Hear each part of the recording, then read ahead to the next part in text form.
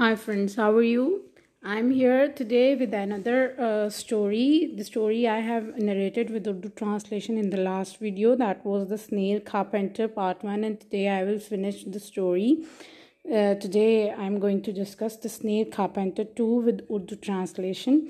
सो so, किस तरह से स्नेल कारपेंटर स्नेल किस तरह से आखिरकार बड़ई बन गया the snail made slow progress with his work snail आहिस्ता आहिस्ता अपने काम के साथ तरक्की करता गया या अपने काम को लेकर आगे बढ़ता गया। ही रियलाइज्ड उसने ये महसूस किया that the wood wasn't sharp enough कि लकड़ी इतनी तेज़ नहीं है टू इंग्रेव हिज शेल कि वो उसके शेल को कंधा कर सके, यानी उसको डिज़ाइनिंग उसके अंदर कर सके।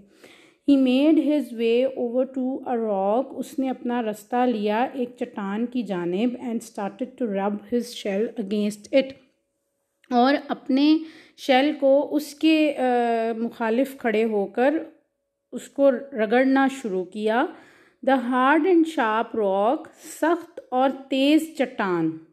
Was just the right tool बिल्कुल सही आला था फॉर अ कारपेंटर एक बढ़ई के लिए टू मेक बनाने के लिए प्रिसाइज कट्स खूबसूरती के सही कट प्रिसाइज का मतलब होता है जो बिल्कुल टू द पॉइंट हो, क्योंकि अब कंदाकारी है तो अब कंदाकारी को तो हम टू द पॉइंट नहीं कहेंगे, इसलिए बिल्कुल सही कट टाइम पास्ट वक्त गुजरता गया and the snail gained experience और स्नेल को तजर्बा हासिल होता गया। ही लर्नड उसने सीखा हाउ किस तरह एंड व्हेन और कब ही नीडेड उसे ज़रूरत है टू रब रगड़ने की। द शेल अपने शेल को अगेंस्ट द रॉक चट्टान के ख़िलाफ़, या चट्टान से, ठीक है? चट्टान से खड़े होकर उसने, चट्टान के कॉर्नर्स के साथ अपने शेल को वो रगड़ता था। तो उससे, उसके शेल पे डिज़ाइनिंग बनती थी। जैसे आप लोगों ने कभी देखा होगा कि कारपेंटर्स जो हैं, वो अपने टूल्स के साथ जो हैं, वो, वुड के ऊपर, लकड़ी के ऊपर डिज़ाइनिंग कर रहे होते हैं। On the ground and or the wood. के अपने ही learn how and when he needed to rub the shell against the rock on the ground and or the wood फिर उसने ये भी सीख लिया कि कब और कैसे उसने अपने शेल को चट्टान या ज़मीन या फिर लकड़ी के साथ रगड़ना है। टाइम कॉन्टीन्यू टू पास वक्त चलता रहा and the snail shell gradually became more beautiful और स्नेल का शेल वक्त के साथ साथ या आहिस्ता आहिस्ता ग्रेजुअली का मतलब होता है Aahista Aahista became more beautiful ज़्यादा खूबसूरत होता गया। लिटिल बाय लिटिल थोड़ा थोड़ा the animals of the forest come to admire the slow but self confident handy man थोड़े थोड़े, लेकिन जंगल के अक्सर जानवर आते इस आहिस्ता, लेकिन खुद अतमाद और मेहनत वाले काम की तारीफ़ करते। द स्नेल कैरड ऑन और स्नेल ने अपना काम जारी रखा वर्किंग टायरलेसली थकन के बगैर, ठीक है?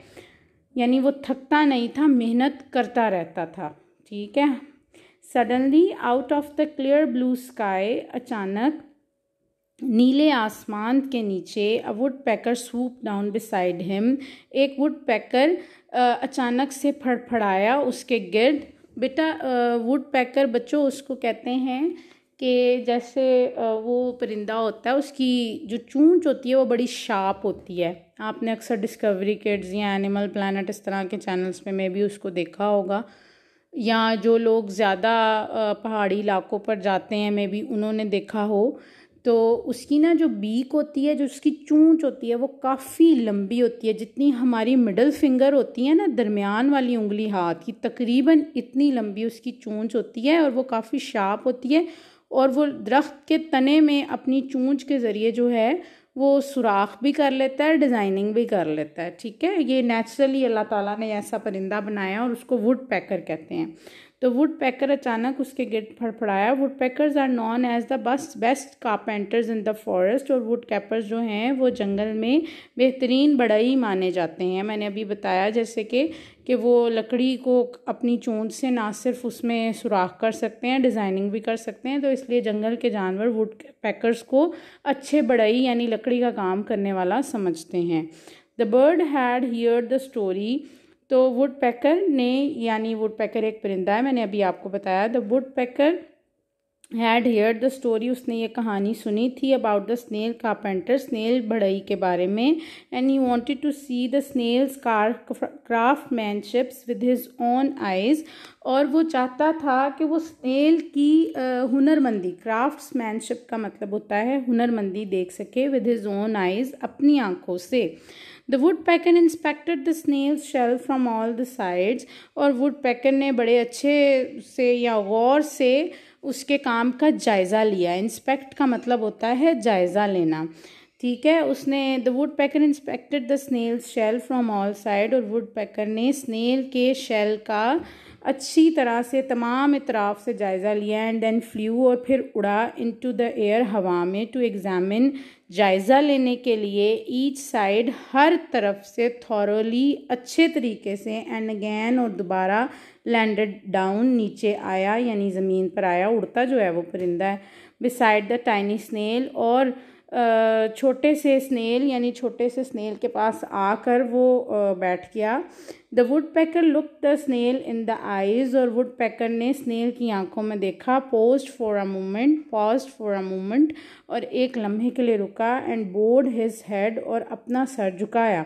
This was a great honour for the tiny snail और ये छोटे से स्नेल के लिए बड़े ही फ़ख्र की बात थी, बड़े ही एहतराम की बात थी because wood packers only vote to master carpenters क्योंकि वुड पैकर्स आला बड़ियों के सामने ही झुकते हैं। फ्रॉम दैट टाइम उस वक़्त से onwards the there was always plenty of work for the little snail carpenter तब से छोटे स्नेल बढ़ई के लिए, स्नेल कारपेंटर के लिए बहुत सा काम होता है। He was asked to decorate the shells of the other snails वो दूसरे स्नेल्स के शेल्स भी डेकोरेट करता है and the homes of many different animals और बहुत से दूसरे जानवरों के घर भी डेकोरेट करता। है he was even asked to build bridges and dams बेटा, ये स्टोरी है और फैंटेसी है। फैंटेसी उस स्टोरी को कहते हैं जो सच ना हो लेकिन ऐसी स्टोरी हो जिससे मतलब हम इमेजिन कर सकें।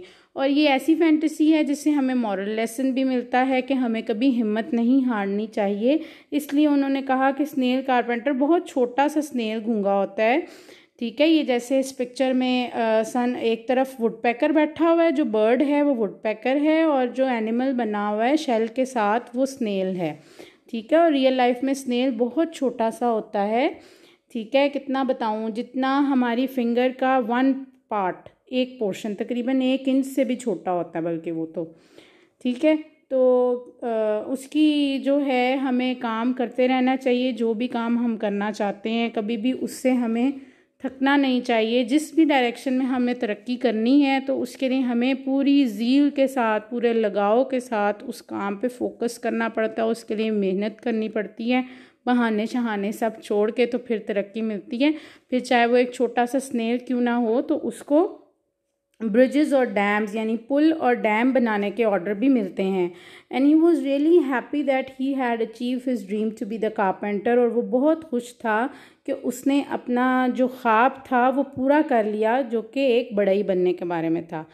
अच्छा बच्चों अब फिर नए किसी भी लेसन के साथ, नई वीडियो के साथ, किसी ग्रामेटिकल टेक्निक के साथ मैथमेटिकल